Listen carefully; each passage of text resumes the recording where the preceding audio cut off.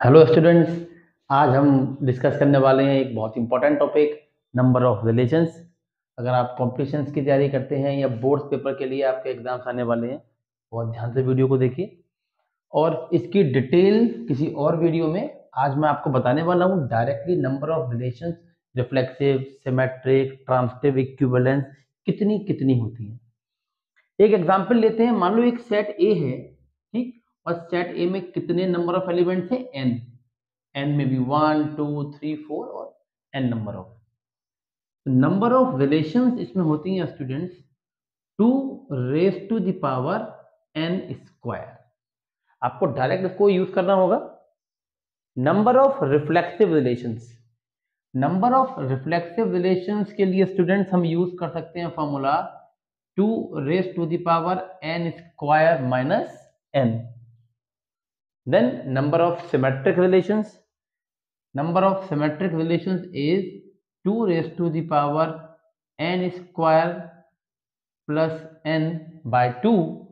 Then number of reflexive and symmetric means reflexive भी हो और symmetric भी हो ये हम फाइंड कर रहे हैं students maximum number of this is 2 raise to the power n square minus n 2 students number of transitive relation के लिए एज इट इज़ ऐसा कोई सिंपल फॉर्मूला नहीं है। तो आप इसको ऐसे याद कर लीजिए कि अगर नंबर ऑफ़ एलिमेंट वन हो तो सिमेट्रिक रिलेशन टू होंगी।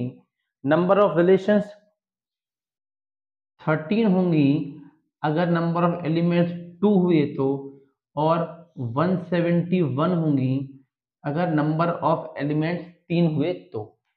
मतलब एज इट इज़ कोई जनरल फॉर्मूला हमारे पास ट्रांसटिव का नहीं है। अब नंबर ऑफ़ इक्विवेलेंस रिलेशन ये हमेशा से एक कंसर्न का इशू रहता है कि नंबर ऑफ़ इक्विवेलेंस रिलेशन कैसे निकालनी है। उसके लिए स्टूडेंट हमारे पास एक प्रोसीजर है, जिसको हम कहते हैं बेल्ट्री बेल्ट्री क्या होता है? देखते स्टूडेंट्स एलिमेंट्स इन ए एक बार वन ले लेते हैं, एक बार स्टूडेंट्स टू ले लेते हैं, एक बार थ्री एक बार फोर एंड सो ऑन ये ट्री कितना भी लेंदी हो सकता है, हमें बस एक आइडिया चाहिए। हम मालूम करते हैं number of equivalence relations okay students ध्यान से समझिएगा इसको। अगर एक एलिमेंट होगा तो एक ही इक्विवेलेंस रिलेशन बनेगी।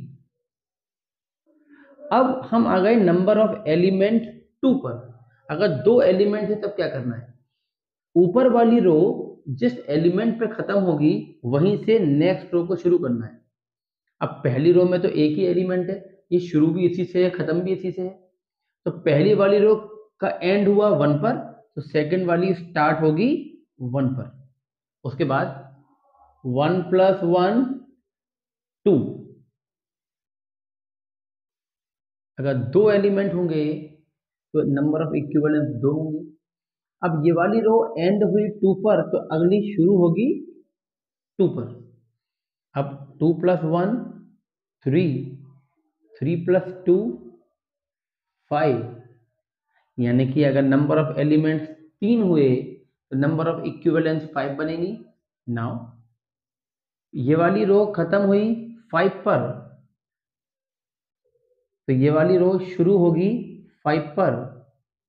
Five plus two seven seven plus three ten ten plus five fifteen तो इस बार नंबर ऑफ़ इक्विवेलेंस रिलेशंस कितनी हुई? फिफ्टीन हुई।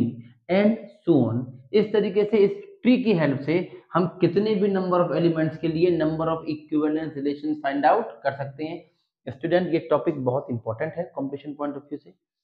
बोर्ड्स में भी इस पर बिल्कुल डायरेक्ट ऑब्जेक्टिव क्वेश्चन आ सकता है। आपको ये बहुत ढंग से देखना चाहिए। स्टूडेंट हमेशा ये एक बात ज़रूर सोचते हैं कि सर, ये फॉर्मूलाज कहाँ से आई ये फॉर्मूलाज जनरेट कैसे हुए? इनके डेरिवेशन क्या है? उनके लिए हम एक सेपरेट वीडियो बनाएँगे। ये वीडियो बहुत लेंदी हो जाएगा। आई होप ये वीडियो आपके बहुत काम का है. All the best thank you